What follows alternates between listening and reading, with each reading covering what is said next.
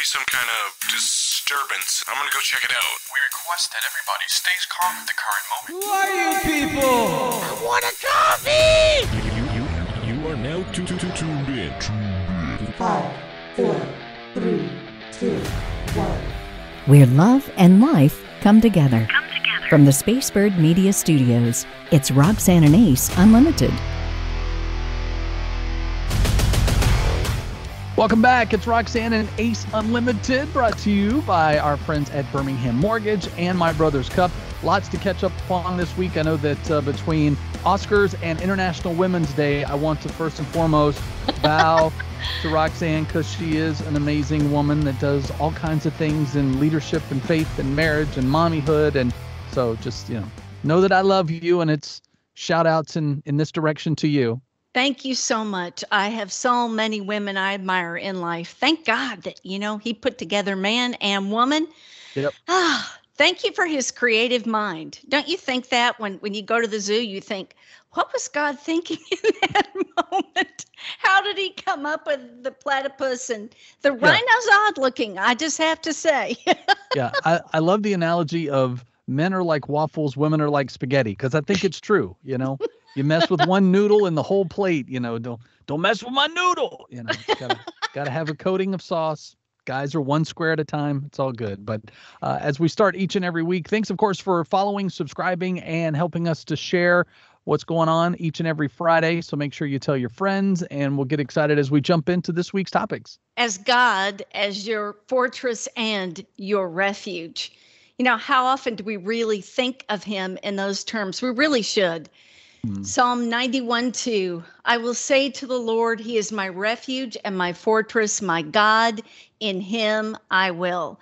You know, a lot of times we say, well, God allowed this. There must be something I need to learn from it. Maybe He doesn't care if I hurt. Mm. And the Lord does care. He does see our tears. He is in it with us. A lot of times I think we think, oh, he's a God above in a faraway land. And uh, maybe he'll get to my problems when he's done dealing with everybody else's problems. When in fact, he is real. He is now. He never leaves you. And he is in this moment. Yeah. Well, and as I was reading this devotional today, it reminded me of that scene from Superman 2 after Clark is, you know, trying to regain his powers and he goes to his fortress of solitude. For those of us that grew up on Superman, you know what that is. If not, Google it, you'll figure it out real quick. but he's standing in the middle of his dark fortress, completely powerless, and he just cries out, "Father!" just as loud and and every time I read this passage, that's the visual I have because I think that's we need to have that place of solitude where we are at a point where we have nothing else to give and we feel helpless, we feel powerless, and we cry out to God so that He can answer us. And even, and the thing too about that particular scene is you never hear the audible voice of, you know, Superman's father or anything like that. It's in the whispers of the fortress itself. So, you know, his fortress is his one place that he can go to get away from being Superman. But think about what is that place? Where is that place that you can really tune out the world, tune out all the voices in your head and otherwise that keep you from hearing the voice of God? And perhaps you didn't have the best relationship with your earthly father. Mm. And this is a big leap for a lot of us to make because you hear, oh God, Father, and then the word Father may not be the best connotation for you. But mm-hmm. here's the thing about it people can disappoint us, they can leave us, they can abandon us. God never will. That's what his word says in, in Hebrews 13 5. He will never, ever leave. So, whatever you're going through right now, he is truly your fortress. Yeah. We have to that. remember that. Well, and I think if we're going to have peace in our life, there are certain steps that we need to be taking. And the first of that is to have peace with God, to begin that relationship with Him or to restart that relationship so that we understand that our inner peace does come from Him. And Christ, let's remember, paid a big price for that peace. You know, he took on the sins of the world. I don't know anybody else who would be willing to do that. That Right. it's bad enough to have our own sins, but to take on everybody else's is rather mind boggling. He was willing to do that because it was the will of the Father. So we need to make peace with God. Another is peace of mind. you know, we think we can hide things from him. Well, I'm thinking that maybe you won't know. Well, he already knows, and he knew you would. Yes. Yeah. well, and I think that's the thing. So you and I are big with our i you know our Apple watches where it keeps our steps and keeps us in check and you can share your, you know, ring goals with other people so there's accountability. And I was looking at mine from like a couple of weeks ago and realizing how many steps that led to how many miles by the end of a week. Whereas if you had told me at the beginning of a week, hey, Ace, I want you to walk 27 miles this week, I would look at you like you're crazy. Like, I'm not, I didn't, I didn't, in my mind, I'd be like, I'm in Georgia, you know, which is not actual geography. But in my head, to think about 27 miles is a lot, but to think about day to day, a little bit of exercise, a little bit of daily, you know, just walking from, you know, the grocery store to the end of the parking lot, whatever it is. By the time that has happened after seven days, you see how much has, has accumul- accumulated. And the same thing with our relationship with God. Every day is a little bit of step, a little bit of action, so that then we look at our relationship a week from now, two weeks, a year from now, how much have you grown closer to him in those steps? One way to have peace is to call Birmingham Mortgage Group. I know I had the most complicated mortgage situation. You know, when you have blended families and properties that you own and things that need to go down, without Birmingham Mortgage Group and Teren Newell specifically, I would have been in a lot of trouble. Yeah, same. Well, and I think too, the part I love about Teren's heart is, you know, he loves the Lord, so his business is ran that way. But he also finds the programs that work for families that other mortgage companies are not able to find or they don't know about. So he's looking out for you beyond anything. Whether that's a USDA loan, a conventional loan, a construction loan. If you're a first time buyer, and a lot of folks with these interest rates of today say, oh, I can never do it. I want you right now, if you've dreamed about getting into a home, to just call Teren. Don't don't look at the God possibilities because this mm. guy, he knows the programs, he knows how to do it. And if you aren't in a space to do it yet, he counsels people to yeah. get into the place where you can buy your first home. Nothing like it. So go ahead and make that call today 205 259 1656. 259 1656 or go to birminghammortgage.com. And Teren is marvelous. We love him and he helped yeah. both of us to get into our homes. Perfect choice. Yeah, you need you need a good friend when it comes to the mortgage. That's again back to peace of mind honey, who we going with? Oh, I know. And you know where you're going with that. And um, maybe this week is the week that you've been hopefully dreaming of this year being you starting your dream job or just starting a job that you love in a place that you love. How can we tell? I know we talked about toxic work environments last week, but what is it when we go on the interview that's a red flag or even a beige flag for us to go, yeah, I don't think this is going to be for me? I wish I had known these things you have to pay attention to the vibe that you get that that holy spirit tap yeah. that says something is out of alignment you know a lot of times we'll feel that but we won't really know what it is and you've got to watch also for signs of disorganization and they're all around you if you just observe. Mm-hmm. if they're 10 to 15 minutes late getting to you for the interview may not be good. Yeah. Well, and even too, I've had this happen on interviews where they ask you your weakness and then you ask where like if you put it back say you know well where's an area that you feel like that i would really plug in well?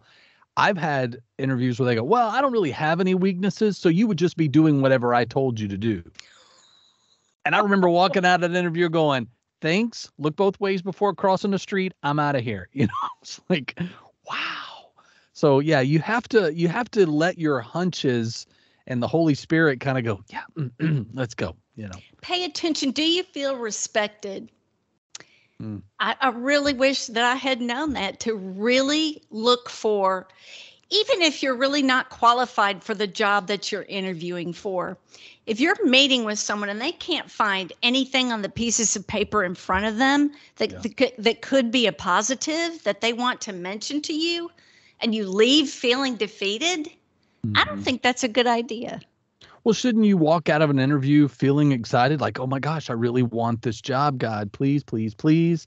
You know, because I'm a full believer that God doesn't, you know, open doors he kicks them off the hinge. And if it's truly meant to be your job it's it's not someone else getting your job. It's that's the one that he preordained for you because of your skills of the timing of all of the benefits the work environment. And i'm a firm believer and feel free to disagree with me on this don't settle in your salary negotiations. Like when they offer like sometimes you could get a really sweet offer. You're like oh you know still have the game face but then kind of let them feel like, okay, well, yeah, let, I'm going to go home and talk this over with my wife and pray about it. And, you know, can we, can we talk tomorrow or by the end of the week?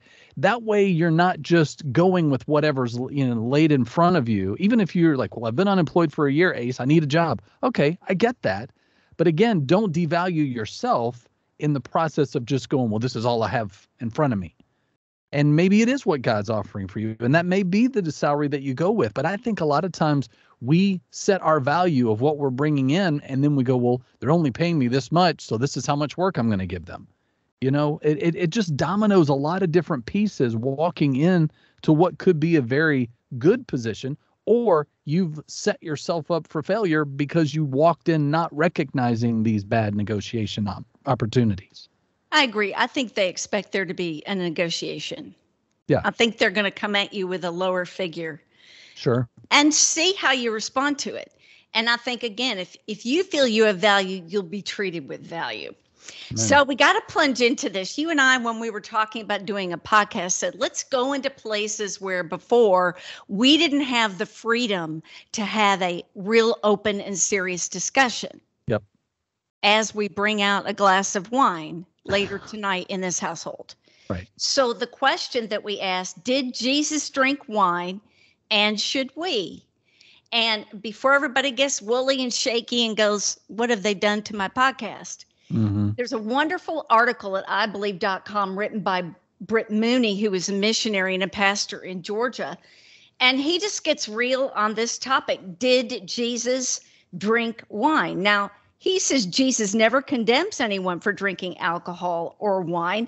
He says there are several scriptures that indicate directly that he believes Jesus drank wine. Yeah. Well, and the thing to remember for that time and age, they didn't trust the water from a health perspective. So with fermented grapes, they knew that it had killed all the bacteria and everything and you could trust in that better. But the thing that I it, it's actually funny that this is something we're talking about today because I've kind of been swimming into a Bible study just before Lent started about what it truly meant in understanding him changing his first miracle being water into wine. Because if you think about you know the family of the of the wedding brought out their best wine and ran out of it. And then people who tried the wine that Jesus created out of the water they said it tasted better than the family wine. And think about the spiritual connection there of how Christ is always re he's upping our game by making us better than what came before us. So we are God, we are his wine. We are constantly in a state of being fermented and growth and changed and all the toxic stuff is out of us, you know. But I love the idea of that if it and again maybe you come from an alcoholic family or it's a trigger for you because of something in your past so you stay away from it for that and that is between you and god. But again when it's not like if you're giving it up for lent or if you did dry january i'm a firm believer if you can give it up for 30 40 days then you don't have to give it up all year. And it is something in our house that is a relaxer it's a conversation starter uh, sometimes it's a date night you know all of those things but we don't have to be intimidated when we're around other people who are drinking. Now, the Bible explicitly states that we should not be drunk. Don't be drunk with wine, but filled with the Holy Spirit. Ephesians hmm. 5:18. You know, Noah got himself in a lot of trouble being drunk, and there are examples in the Bible of that. And and I yeah. do believe, you know, there's a friend of mine that that really can never drink or use drugs again. And if she's in my home, am I going to whip out a glass of wine? No. Yeah. I, I don't partake in drugs, but am I going to do something that would cause my brother to stumble? No. Uh, but I have great respect for people who've chosen not to drink. Mm. I I do. I have great Sure. respect for it. If God has shown you that that's not what you need to be doing, terrific.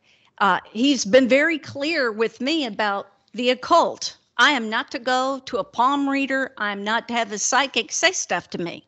Right. Now, that's between me and God. I believe it's biblical that I shouldn't expect somebody to tell me what's going to happen to me three weeks from now. And when I was in rock radio, I mean, there was a psychic on there who read my book, who told me things nobody knew. Okay. Mhm. But Mhm. but I have to wonder with discernment, where is that coming from? Am I to get my knowledge about me from anything but God? For me, the answer is absolutely no. Of course, I, Yeah. I wasn't a believer at that time. It scared me, to be honest. You think, Sure. oh, that's cool. But when it happened, it scared the daylights out of me to be. And it, what he revealed was a very unfortunate thing in my life. Right. So when I became a believer, you know, I was very interested at one point in astrology, and the Lord said, pick up all those books and take them out to the dumpster. Mhm. well, and would No. you say too? I mean, I, the thing I love about that is that you're in tune with God's voice enough to know that that's Him telling you not to do it. But again, we don't need one other voice giving us lies. And again, going back to should Christians drink or not, the bottom line is anything that gets between you and God is a vice. So if for you it is alcohol, then yeah, for you, you shouldn't. Or if you have family that comes over and it, that's their thing, then you shouldn't drink in front of them. But if, you know, for me, the I've learned the hard way that the very things that I love and are gifts from God, like music, can easily get in the way of my relationship with Him. I could listen to the wrong band or song, or I could, you know, fixate on the wrong lyric and, you know, let my life be dictated by, well, I'm going to live my life and party like a rock star. You know, I mean, no, I mean, there are those things that I believe God points out. You're not to do these things or you're not to go down these paths because it takes you away from me. So if drinking takes you away from God, then yes, that's between you and him. If astrology is that thing, then yes, you can't do those things, but find out what is the thing this year or this Lenten season, what is the thing that's keeping you from having a closer walk with God? Because the whole point of Lent is to get closer to him, right? Well, and I used to hear he's a jealous God, and I would think, why would God be jealous of me? He wants to be number one. He wants to be the one we run to. Yeah. And there's so many reasons why we're much better off doing that. And so I just love that we could have that discussion. Thank Yeah. you, Lord, that we can have that discussion. Now, let's talk about deep platonic love. You know, it's so funny. We have a guest that talks about your Aunt Bertha, and you shouldn't treat your Aunt Bertha like you're going to treat your husband. But I tell you mm-hmm. what, I have really been blessed in such a big way with the most wonderful friendships that it, it feels like I'm in love, like the clock's ticking until I get to talk to you. Mm, And I just want to praise God for great platonic relationships where you can be you. You can be you and you're rotten. You can be you and you're good. You can be you and your weakness. You can be you and you're not judged. mhm. And I just want to thank God that I finally feel like in this advanced age that I have real friends that love me and there's nothing like it. For Yeah. me, having boyfriends or men or dates, that was no problem. In fact, I was pretty rude. I used to get me a man and like washing my hair, get me a new one when I didn't like him. That was really bad. Pre Jesus. No, I yeah, thought, I have men, but I have no friends. Now, God's gifted me with the, the platonic gift of incredible connection.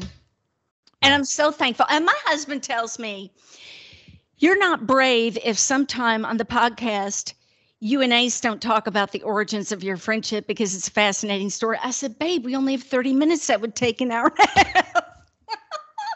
the short of it is we didn't like each other for a while, then we did, and now we love each other. Amen. That's the pop-up book version. No, I will say this though, and and this goes for any friendship. If you're wondering why your friendships are the state they are, what kind of boundaries do you set? Meaning, how much do you let them drain you? How much do you drain them? You know, what words do you allow them to say to you or about you, whether in your presence or out of your presence? Not not that we can control what people say when we're not away, but you know, words always find a way to get back to them. And I'm and we've said this on this show even in the last few weeks of there are relationships that God takes you out of because he was present in a conversation that you were not. Oh, well, no, no, repeat that. Well, repeat that. So God removes people from our lives or removes us out of relationships because he was present in a conversation they had about us that we weren't there. Whoa. So he's hearing things that we're not privy to. And so when we go, well, God, why has this person left me? Well, they're the person that's drown- drowning you down and and taking you to places that you shouldn't be going and doing things you shouldn't be doing that gets in the way of my relationship with you or with people that you should be investing into or that want to invest into you. So the thing that I will say too, because this is where I think we have to talk about, is the safety of our spouses about our friendship, or if you have friendships that are platonic and safe and you've had them your whole life, well, you're not going to tell me I can't be friends with them. I mean, Tawny and Wayne are 100% on board with our friendship, with our time together, with our show, with our content, talking about them on the air. Like all of these things, we don't just open the mic and go, Blah, and then have, you know, and then go upstairs and go, uh, you didn't listen today, did you? You know, it's not that kind of thing. It, it is a, they understand our need for each other professionally and personally. But again, it's because our show from the very beginning was built on our friendship because we had no friendship. And so to have it was a gift. I mean, really, it was Yeah. it was it was bad. And it really was all about misunderstandings, which a lot of times I've I've actually it's kind of ironic. I've got probably you and two other good friends, they're guy friends, but we started out on the hate trail before we became besties, all because of misunderstanding. And a mm-hmm. lot of times that's where we are. We have weird boundaries, we have weird misunderstandings, and we don't have the proper friendships. But I tell my wife all the time, well, not all the time. We've had this discussion early enough on that now, five years into our relationship, it's it's a joke, but it's true. I know that if something happened to one of us, the other one would have a long there's a long line that that we know exists of people waiting for us to be single again. So the there's no jealousy. I, I know that there's always a man ready, and some cases maybe a woman ready to take my wife away from me if they thought they had what was in them. But I'm confident enough, and it goes both ways on the uh, opposite side of the coin. But I'm not intimidated by it. I, I'm not responsible for my wife's happiness and vice versa. But we do trust and respect each other to say, hey, babe, are you cool if I go out with my friends? Or, hey, are you cool if Roxanne and I have lunch on Sunday? You know, whatever it is, but it's understanding those boundaries with safety. And if there's a past that you have with cheating and affairs and things of that, you got a long road to get to a place where your spouse may be okay with you having a platonic friend. But that's how God works things out. But we will celebrate it with you because that's what this show is based upon and what it will continue to always be about week after week. One quick story before we go about a DoorDash driver. I really wanted to give get your opinion on this, specifically Ace. Yes. This went, you know, over a million views on TikTok. The guy drives for DoorDash, which I'm very familiar with, have used, have family mm-hmm. members at DoorDash. So it's kind of on my mind. Well, this driver delivers sushi seven miles away. He goes ahead and delivers no tip. He gets mad and he videos him calling the guy and saying, Why didn't you tip me over the sushi that I drove seven miles? I'm pretty mm-hmm. upset. I'm about to have a baby. Where's my tip? And the guy said, Well, I really can't afford a tip. You know, many responses to this saying a tip should be automatic, saying a tip, he shouldn't have accepted the DoorDash. If he knew there wasn't going to be a tip, I guess you can tell that there's not going to be a tip before you can take the DoorDash. Yeah. Still others that say if you don't tip, it's a horrible crime. I mean, where where do you fall in all this? Well, having a daughter who door dashes, I am a firm believer that you got to tip because every time we use DoorDash, I think of her, you know, and I I know places she's been and she's delivered everything from a quick little sushi meal to you know a six hundred dollar TV, like it's all over the gamut. and sometimes they tip and sometimes they don't. So because of that, I'm very super sensitive that yes, I should tip. But my wife was in the food industry for a long time working, you know, for Starbucks. So understanding that side of it as well kind of puts me in a different mindset. So I always want to be the good tipper. But there's a there's a great book uh, by John G. Miller called the QBQ, which is the question behind the question. In the first chapter of that book, he tells the story of this very busy restaurant that he went into. This was you know pre days of anybody delivering food to your house. But he said he went in on lunch break. There was like one little corner booth. He came in. He told the waitress, he goes, "I want you know chicken salad sandwich, you know fries, and a diet coke." And she goes, "Well, we only have Pepsi." And he goes, he goes, I'll drink water then, but you know, that's all I want. And so she's like, fine, I'll get it right out to you. Well, she comes out, brings him his food, brings him his water. He's eating it. He gets about halfway through, and over his shoulder, a Diet Coke in a bottle plops on his table. And he's like, Where did this come from? She goes, Well, on my break, I ran across the street and got you a Diet Coke. And in that moment, he was like, This this is the kind of person that needs to be running our businesses and maybe our world because they think about how can I go the extra step. So even if you're door dashing and you don't get tips, and I understand it's all you have to live off of, still be excellent in your work because God's giving you DoorDash as your income. So while maybe 1% of the houses that you're delivering to don't give you a tip, still give it with excellence so that it's again providing for yourself or providing for your family. Well, it's wonderful you mentioned that because there's another video of a guy who got mad that didn't get tipped, that took the person's food and gave it to the homeless and videotaped that. They say it was a stunt, but a lot of people were like, "Yay!" and I totally disagree with that. Yeah, you know, I'm I'm not a fan of of laundering because the internet's forever. I'm not a fan of bashing a customer or your business or any of that on social media because it i mean when you go you know we talked about interviews today. If you go back and they want to go and look at your social media profile and they see you bashing a boss or bashing a client you're probably not going to get hired.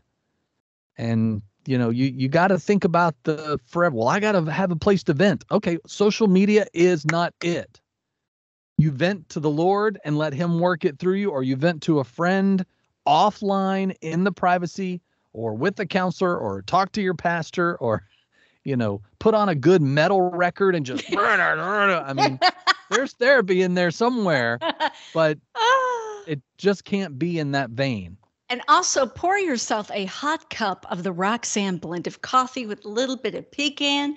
Uh, that will just, mm, that's the best way to start your day. And it sends missionaries around the world. It spreads the gospel of the good news of Jesus. It can be found at mybrotherscup.com. Click on the Roxanne blend.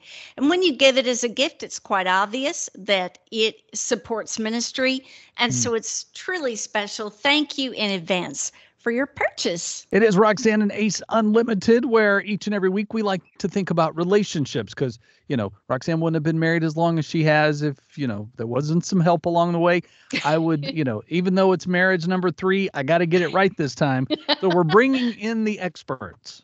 Yes, she is a speaker and author who encourages women to be happy moms. She's written a number of books. She's appeared on Fox and Friends and the Today Show and is willing to spend some time with us. And we're so thrilled to have her on the show. We welcome Arlene Pellicane. It is my delight to be with you. Thank you, Roxanne.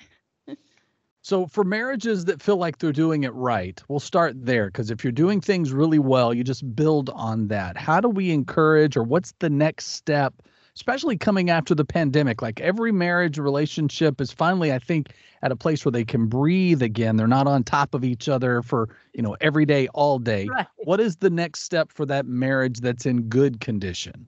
Oh, I love that. You know, it's, it's kind of the question of, you don't have to just stay at the same level because sometimes we're just maintaining. We're like, phew, we made it here. Let you know, let's be here.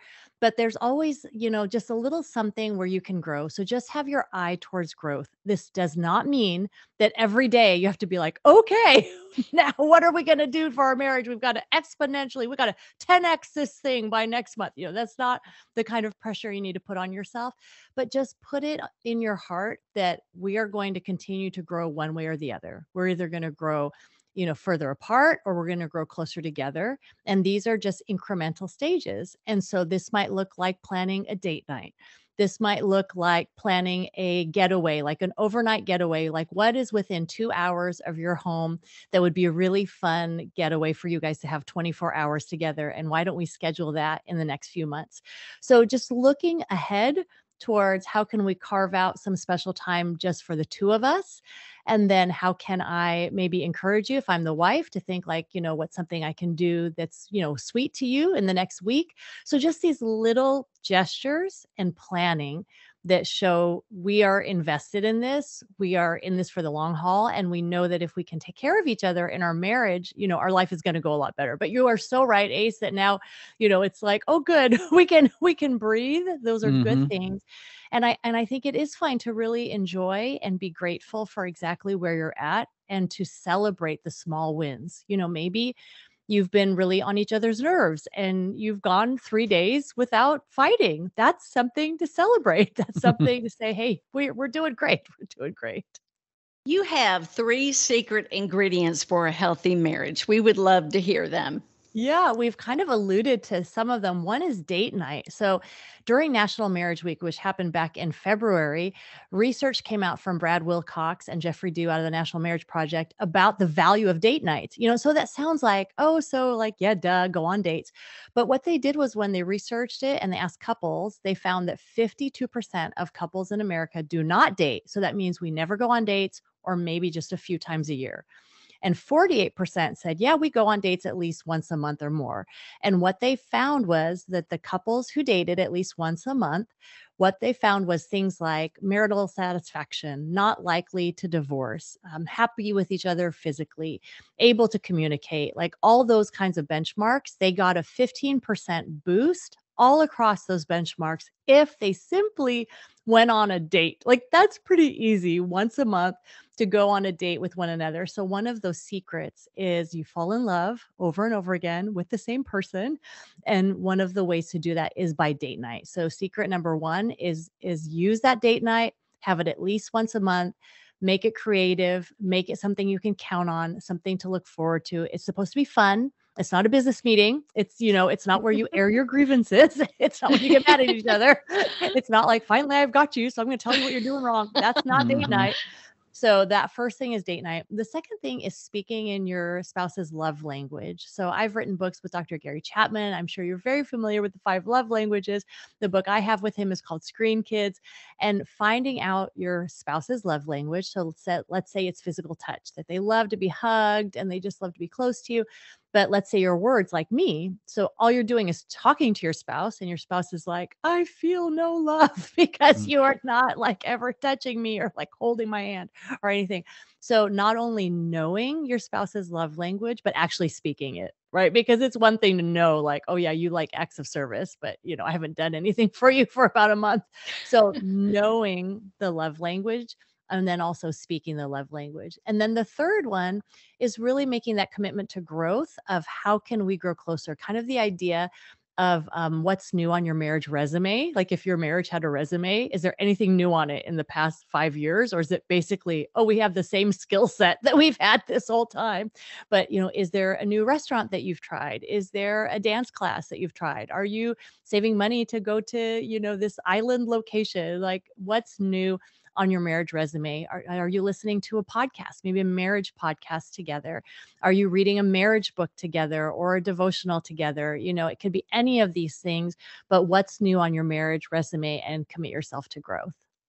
So you talked about date night, which Roxanne and I are very big fans of. Her yeah. and Wayne have date day, and then my wife and I just sneak it in when we can. Yes. But I feel like there's also certain rules within date night. Like you talked about, you know, jokingly, you know, not to, you know, bear our grievances. But I also yeah. think like, you know, my wife and I make it an intention not to talk about the kids for like at least the first you know 20 minutes 30 minutes Right. of date you know uh, because again if we're having the same conversations that we would have at home then you just stay at home or you don't have conversation at all and we're you know two Right. screening it where the tv's on and we're scrolling and Yeah. nobody says a word or are there other do's and don'ts within date night so that we maximize those dates Um, David Clarke is a psychologist and an author, and he's got a book. I think it's called Kiss Me At Like You Mean It.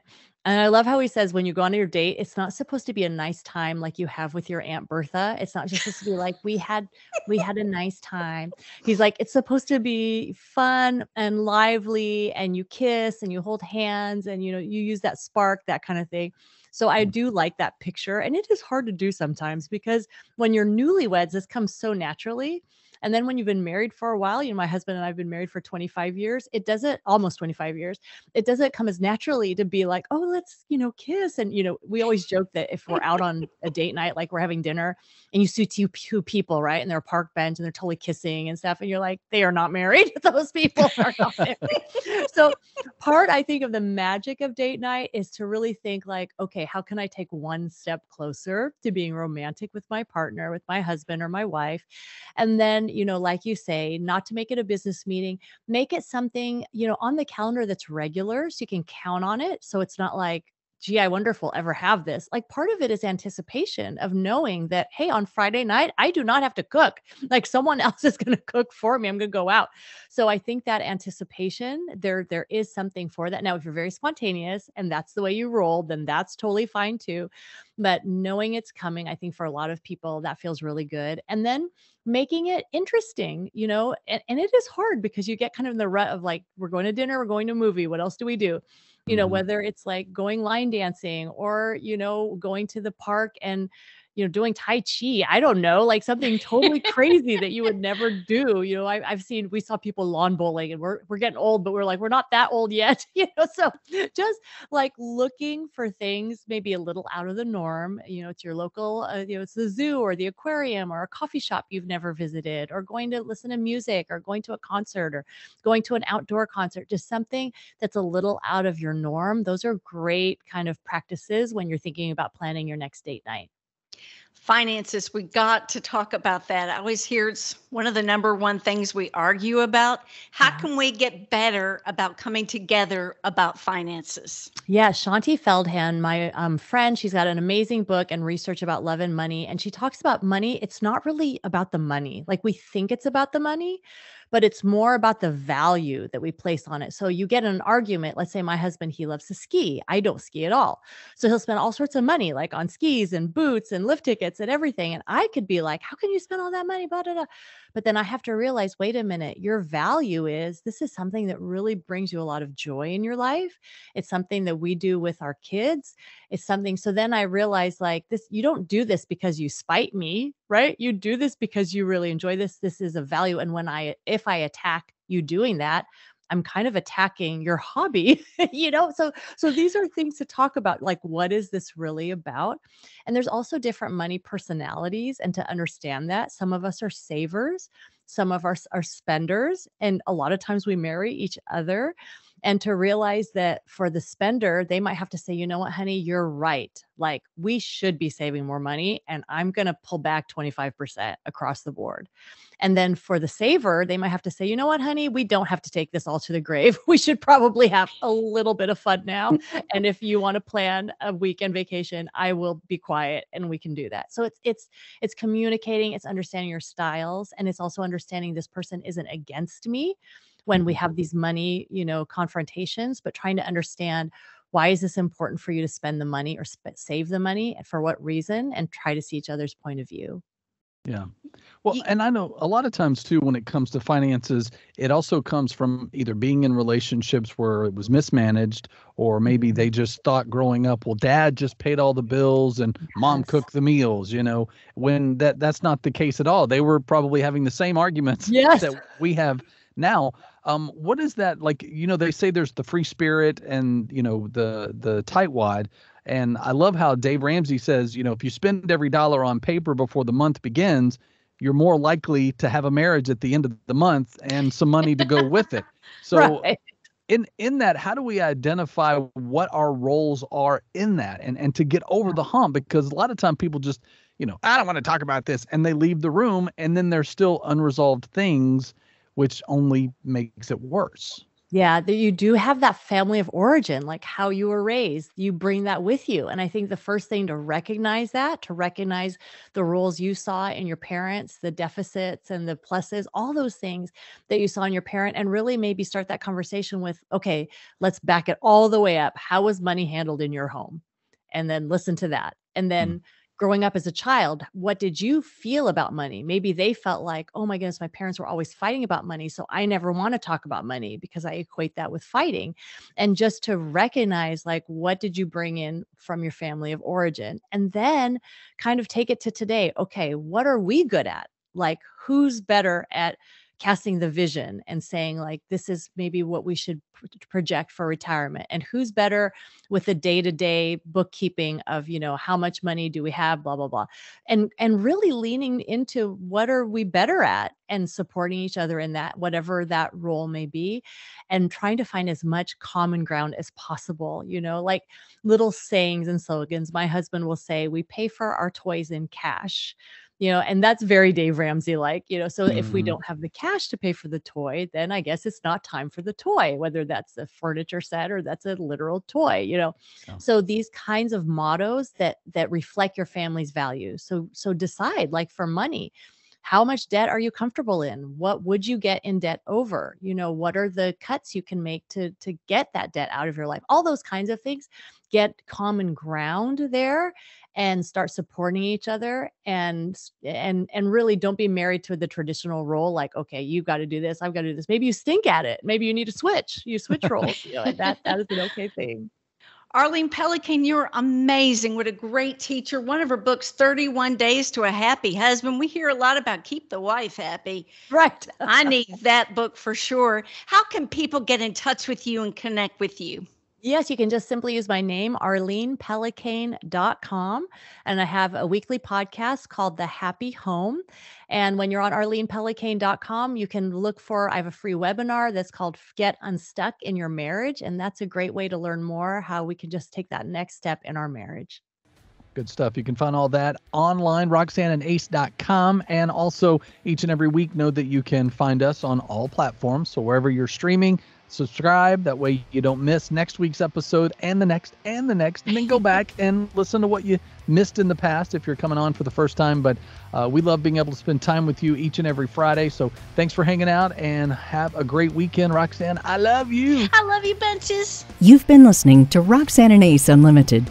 To make sure you don't miss future shows, you can subscribe anywhere you like to podcast and catch up on anything you've missed. Find out more at RoxanneandAce.com. Roxanne and Ace Unlimited is a production of Spacebird Media.